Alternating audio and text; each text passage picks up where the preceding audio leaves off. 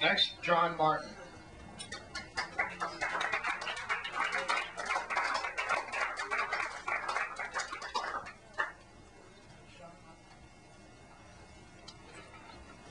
Uh, ironically enough, I often find that, excuse me, nothing nurtures my own desire to write more than uh, alienation. So I'm often torn between the, the two desires of writing a lot or, or like having a good life. You know, I have to decide which is better. But anyway, uh, I'll start off with something which uh, sort of depicts this. Excommunicated to the barren, naked expanse of self-deprecation, I find a complete lack of conformity in the enticement of sanity's brainchild. In a sow's ear, pentachromatic forces of dynamic enterprise soak in a pool of murky pipe dreams, correlated in a fashion suited to the long-standing realm of trepidated insolence. Standing aside the chasm of voided trust, juxtaposition arc lights skew the sky at random intervals, scheming in private and whipping the eyes with a succinct practicality felt far astray from the myriad cries of alarming expatriates writhing inside.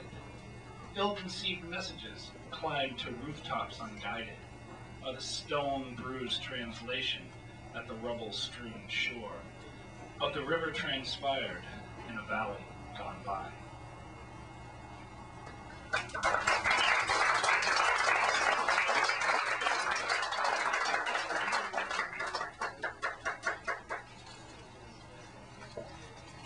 A solitary thought, a tertiary moment in the visionary mist envelops a singular impression, an infinite irregularity. Coming off the stream of consciousness, ripping across my face, is a brutal wind of emotion, is an earthly smell of passion, is a slap of firm reality, not to linger, soon to pass, just out of reach.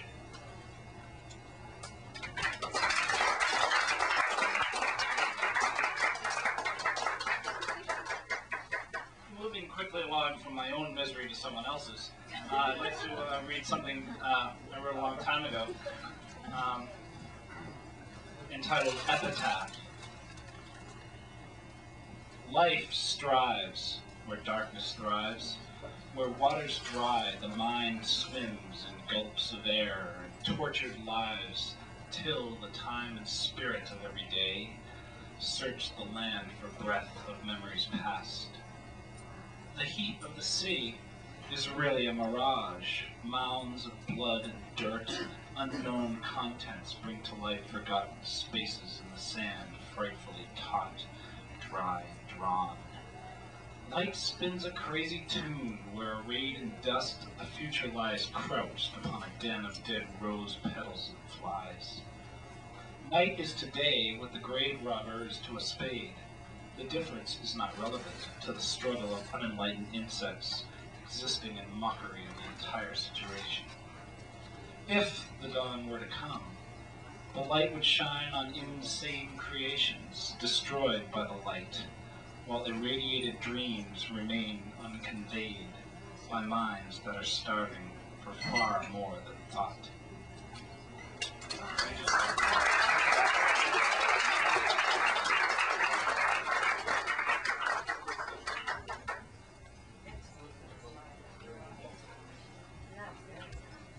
That was John Martin.